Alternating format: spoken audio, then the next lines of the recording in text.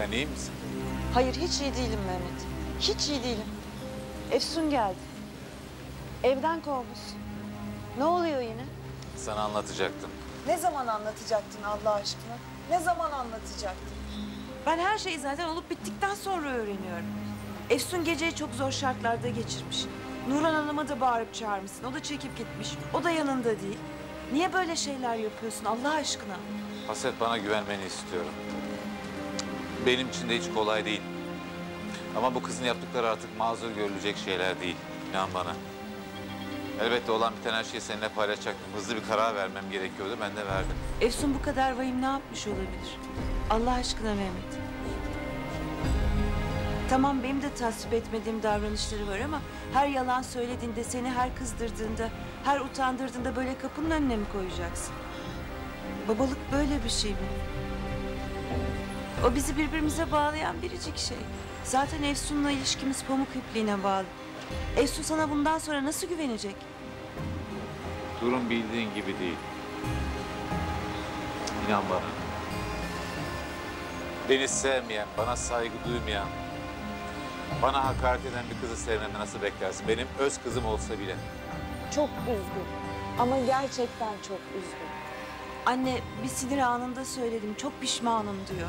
Hep aynı şeyi yapmıyor mu? Her zaman yapıyor, sonra özür dilerim, pişmanım diyor. Yalan söylüyor Hasret. Bu sefer kararımdan vazgeçmeyeceğim. Onun iyi bir derse ihtiyacı var. Ne olursa olsun Efsun bizim tek çocuğumuz Mehmet. Onu suçlamak, iyi bir evlat olmadığını söylemek çok kolay. Ama bence şunu sormalısın kendine. Sen iyi bir baba mısın?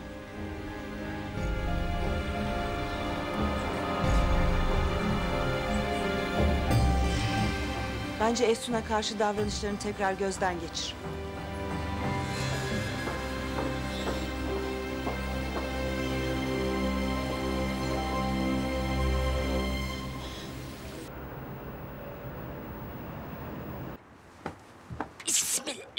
Esas bombayı biliyor musun? Hayrettin müştemilata taşınıyor.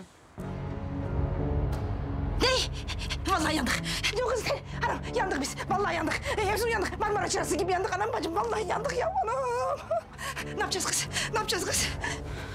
Ben bilmiyorum Sakin abla. Yemin ederim bilmiyorum ya. Hayatın sillesini suratımın ortasına yememle kalmıyormuşum gibi artık yumruk yumruk girecek bana hayat yani. O derece her şeyin ortasında kaldım. Bıktım ben yemin ediyorum ya. Orada Yusuf'un cesedi duruyor. Adam orada canlı bomba gibi duruyor ya.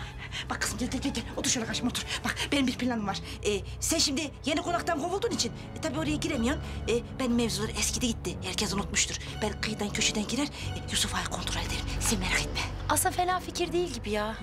Peki sen baksan ne yiyorlar, ne içiyorlar anladın mı? Bu pislik herif ne yapıyor, ne ediyor bir baksan iyi olur aslında. Kız sakin abla ne minnoş bir insansın kız sen ya.